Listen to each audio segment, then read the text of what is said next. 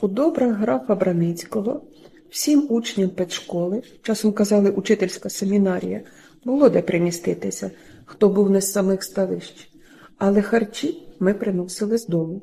Кожне через тиждень або що ходило додому і приносило на плечах буханці хліба, олію, муку, пшоно, цибулю, приблизно такий асортимент. Ходила і я. Самі собі ми і варили в обігрівальних грубках галушки, куліші і заправляли режиєвою олією з цибулею. Та й платня за навчання була хлібом, країна ще не вийшла із часів воєнного комунізму. Тоді за все платилось натурою, гроші не ходили.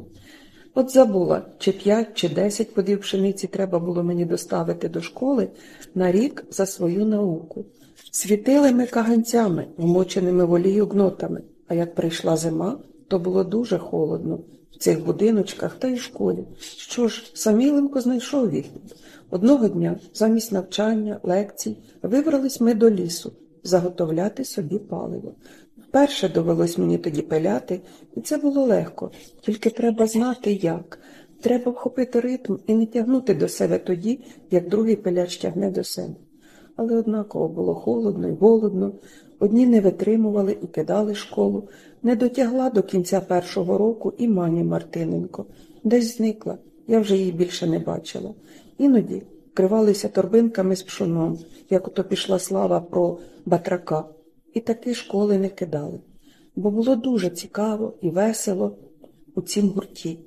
Я знайшла в ній ту атмосферу товариськости, що була ще хіба тільки на хуторі у Кравченка, починаючи з гори від учителів і донизу, до хлоп'ячої частини школи. Мене не упосліджували, а навпаки, такого дружнього і товариського ставлення, як у Ставищанській педшколі, я вже потім ніколи не мала. А я ж була досить підокремлена, несміхотлива, романів не крутила, і це все вважалося абсолютно законним. Оце ж тоді спробувала я вперше махорки. Треба сказати, що голодувала я тоді таки чимало. Під час перерви так смокче і так млоє. Хлопці тоді десь сядуть кружка і гуртом покурюють. Я часом підійду.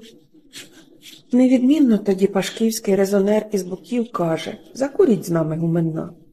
То одного весняного, особливо смоктливого у шлунку дня я й відказала давайте спробую. Було гірке і недобре, але наче затих голод.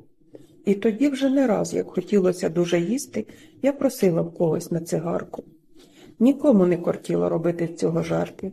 Вже потім, як я проходила далі свою нелегку життєву путь, то таки добре навчилася курити.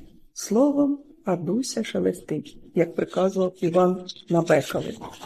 Я любила вчитися школу, лекції, перерви, співанки, весь цикл шкільного побуту.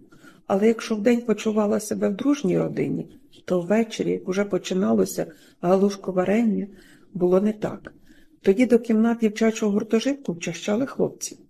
Я тоді почувала себе відчуженою, неналежною до цієї атмосфери женихання і парування.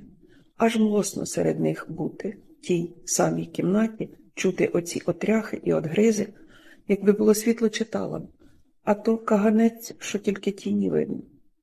А зимові вечори довгі, смеркає рано.